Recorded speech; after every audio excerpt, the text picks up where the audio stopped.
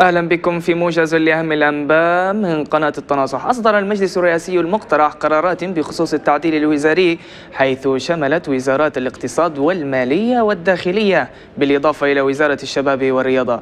وشمل القرار تكليف كل من وزير الخارجية السابق بالمجلس الانتقالي علي العيساوي وزيرا للاقتصاد وعضو مجلس النواب المقاطع فتحي باشا آغا وزيرا للداخلية. وجاء في قرار آخر تكليف بشير أبو عجال القنطري رئيسا للهيئة العامة للشباب والرياضة وفرج عبد الرحمن بومطاري وزيرا للمالية.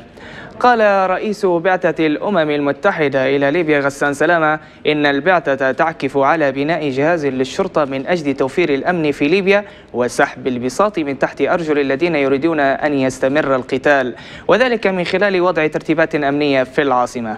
وأكد سلامة خلال مقابلة مع جريدة الحياة السبت انخراط 200 ألف عنصر في التشكيلات العسكرية قدمت لهم الدولة منذ خمس سنوات نوعا ما من الغطاء من بينها الرواتب.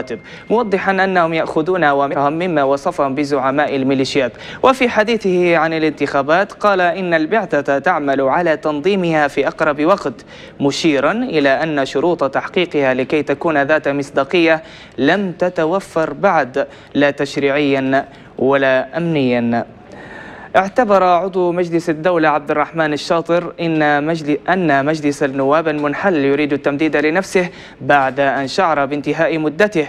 وأضاف الشاطر في تغريدة له أن البرلمان يخاطب ود مجلس الدولة للقيام معا بتعديل اتفاق الصخيرات الذي لا يعترف به ولا يتعامل معه مشيرا إلى أن المطلوب في هذه المرحلة من مجلس النواب هو تضمين الاتفاق في الإعلان الدستوري وليكون الحوار منطقيا وقانونيا. وإلا كيف يغير ما لا يعترف به على حد تعبيره؟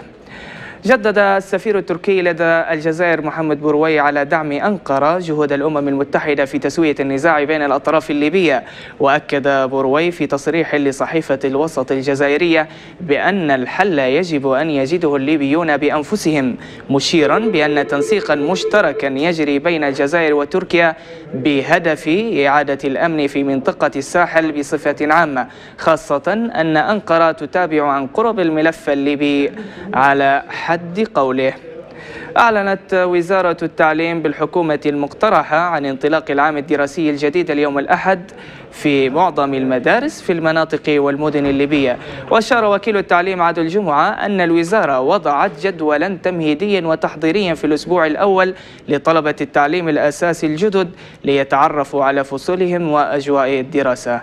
مضيفا أن المقررات الدراسية في مرحلة التعليم الأساسي لم تتغير موضحا أن ما حصل في تهذيب للمادة وتقليص لبعض الدروس. وأكد جمعة في بيان له بأن الوزارة تحرص على تحسين تحسين أوضاع المعلمين والاستجابة لمطالبهم كعلاوة الحصة وصرف الميزانية التشغيلية لكل المدارس على حد تعبيره. نهاية الموجز إلى اللقاء.